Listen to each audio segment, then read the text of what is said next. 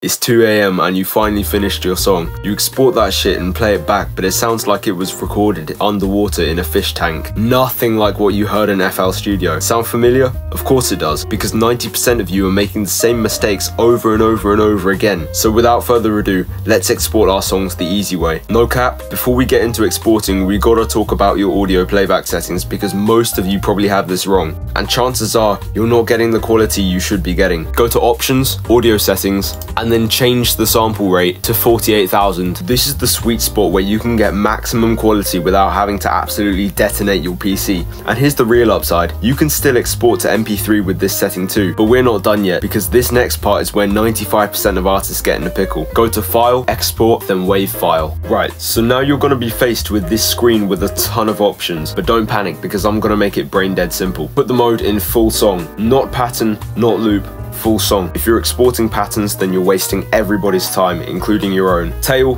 cut remainder. This just cuts the dead space at the end. You don't need 30 seconds of silence, trust me. Bit depth, 32-bit float. This is the highest quality you can get. Don't overthink it, just use it. If you want to export to MP3, just click this too, and make sure the byte rate is the highest. Now here's the big one that separates the pros from the amateurs, quality setting. Click on that drop down and set it to 512 point sinc. Yes, this file is going to be massive. Yes, it's going to take longer to export, but here's what no one tells you. This is the difference between your song sounding professional and sounding like it was recorded through a phone. And this one makes me want to punch a wall because it's so obvious yet everyone screws it up. You know that enable master effects checkbox? Check it. If you've got a master chain on your mix eq compression limiting whatever and you don't check this box fl will export your track completely dry. And then that's when you sit wondering why your export sounds nothing like what you heard in the program. It's like ordering a burger and telling them to hold the meat.